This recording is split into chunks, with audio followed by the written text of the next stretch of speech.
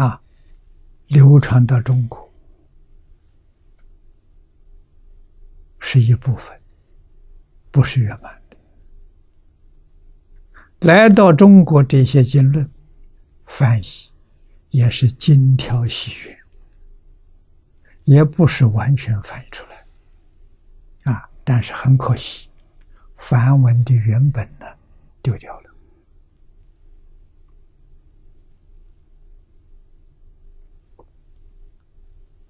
啊，这种丢掉，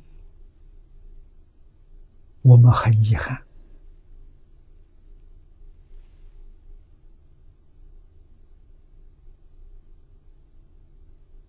我有疑惑，向方老师请教：为什么大量的梵文经典会在中国失传？为什么没有把它保存下来？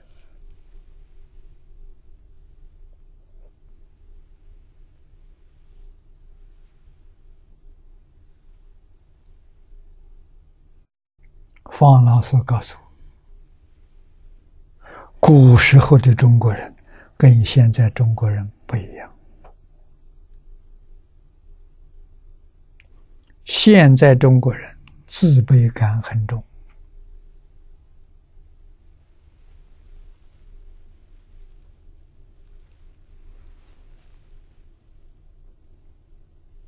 古时候中国人自信心太强烈了，啊，他确实认为从梵文翻译出来的经典意思没犯错，翻译用的这些文字。啊，这些词汇实际上超过梵文。啊，一的本子比梵文还要殊胜。换一句话说，学佛法、学中文经典就够了，不需要再去学梵文。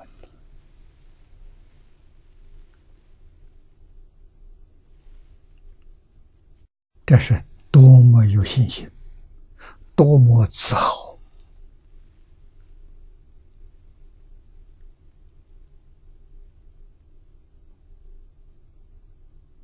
啊！强烈的自信心啊！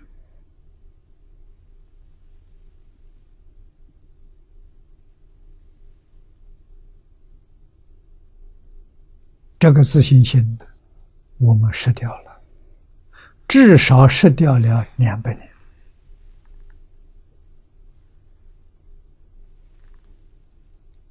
要恢复中国传统文化，首先要恢复对中国传统文化的信心。你不相信，他那没用处啊！他怎么能复兴呢？要有像古人那种强烈的信心啊！真的是爱国家、爱文化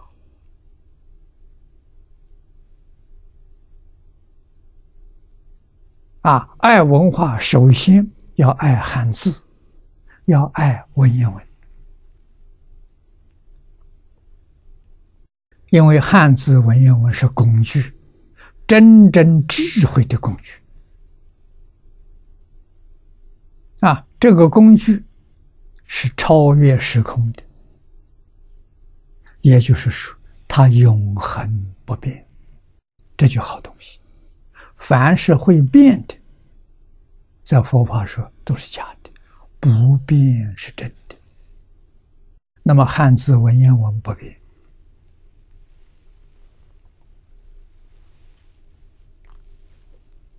啊，三千年前的人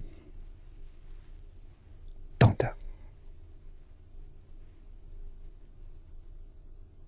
三千年后的人，我们学了文言文，也懂得啊。古人传达的信息，古人传达的意思，我们体会没有错会再过三千年之后还管用，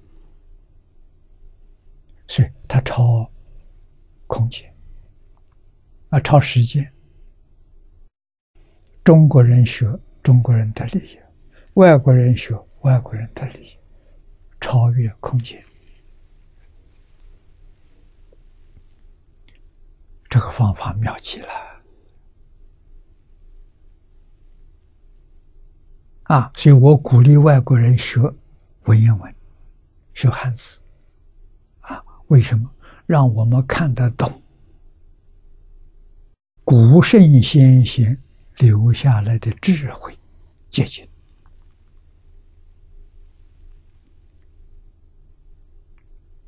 我们能理解。能得受用啊！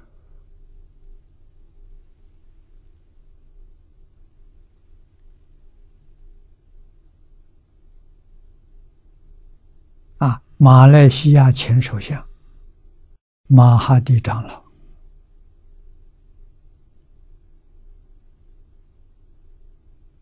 我送他一套《群书之要》。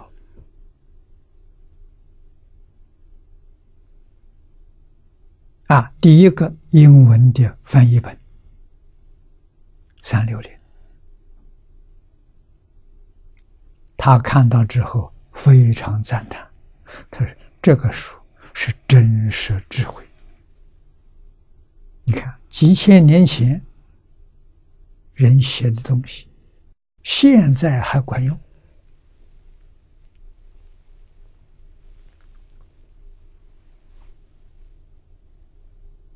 嗯在中国管用，在马来西亚管用。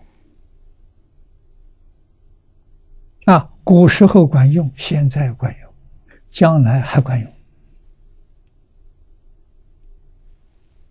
汉字文言文不可以不学，花上三年功夫学这个东西，你得的便宜可占大了。啊，为什么呢？古圣先贤。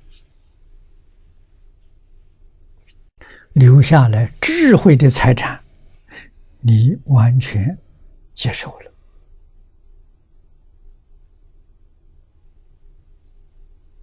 你得到沉船，你得到受用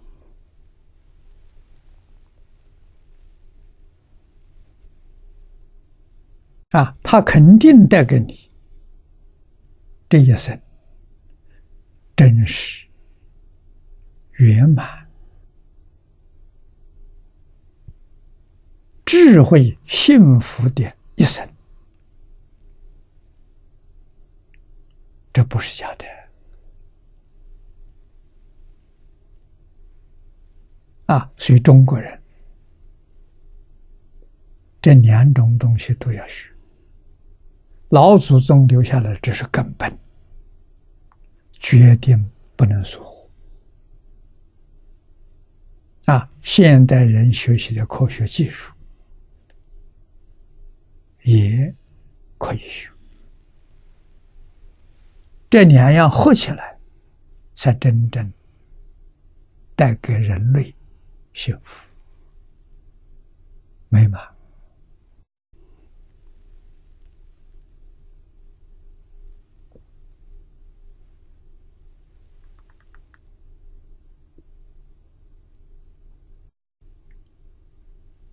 民国以前，清朝末年，有不少学者提倡的，啊，教学要以中国祖传的为主，啊，西学为用。学习西方东西为用，这个说法好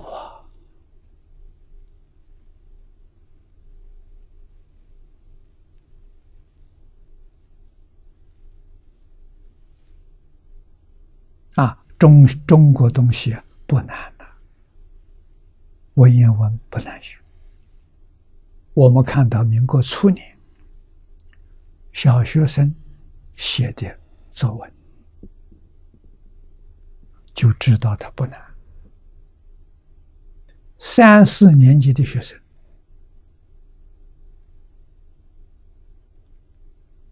大概是八九岁，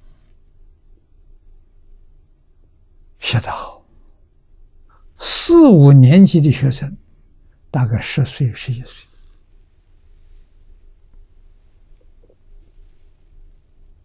相当可观的。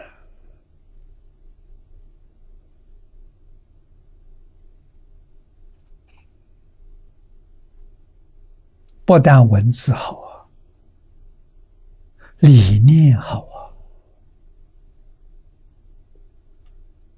孩子有智慧，孩子有能力辨别是非利害，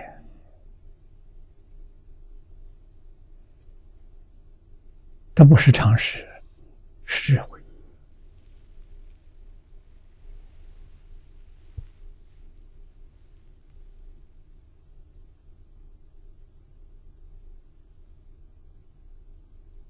啊！我最近好像看到一个信息，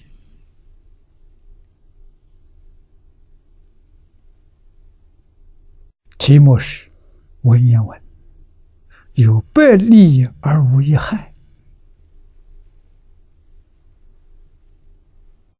应当要重视，应当要学习。这个看法正确的。